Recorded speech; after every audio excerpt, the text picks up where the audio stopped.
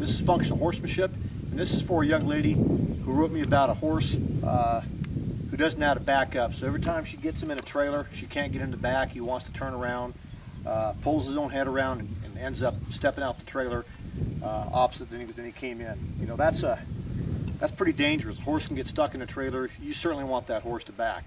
But when they come out of the womb and they're in they're little foals, they don't have that backing skill. It's not an innate skill. It's a natural gait form. So you got to help them learn how to back. And it's, it's, like with anything else, it's pressure release.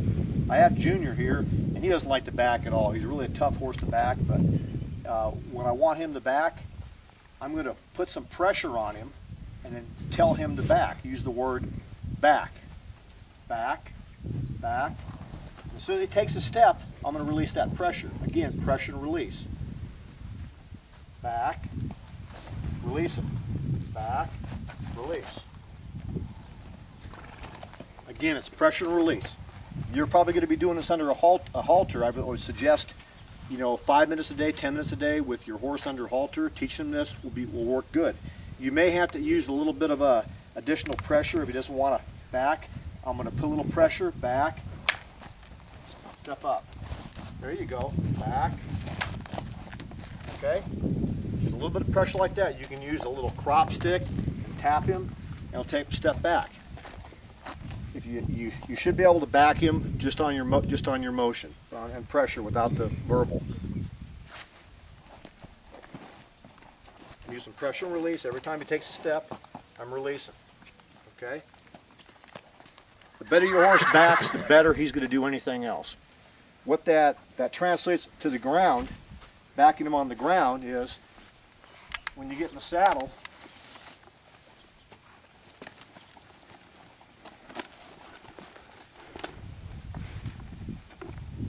is that same pressure, albeit maybe from a different angle. Pressure, back. Squeeze it with my legs, as well as apply a little pressure that noseband on that hackamore. Again, pull back like this. And I'm going to reward or release that pressure on that smallest try. Do it again. Back, release. Pressure, release. Pressure, release.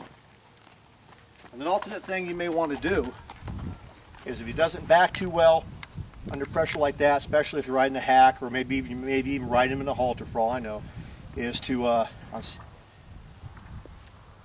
on rope and reins or reins you're going to be, you're going to be using a direct rein on them. You can rather than apply direct pressure like this, you can scissors the pressure or alternate pressure with your hands like this. So it would look like this. Back, release, back, release, back, release, back, release. Okay? When your horse does that, I think he's going to be a lot more able to step out of your trailer. A couple other things you may want to look at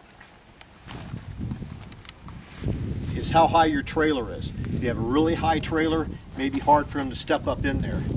Now I'm going to show you one thing to do to help your horse back out of a trailer. It may help you.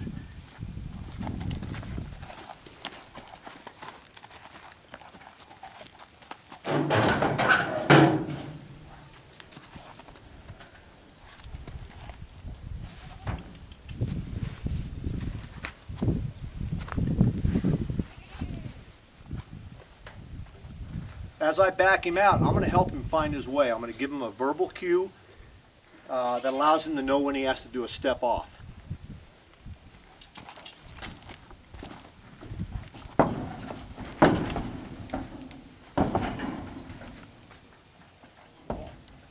Okay, back, back, step, there you go. Yep.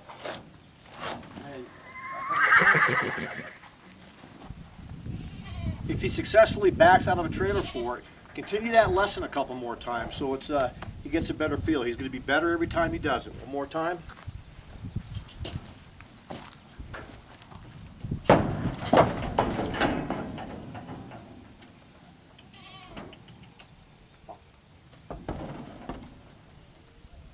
Back.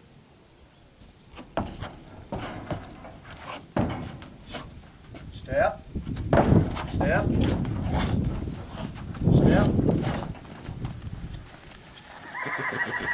Every time they back, it's just going to make them that much better of a horse. And I hope that helps you. Have a safe journey.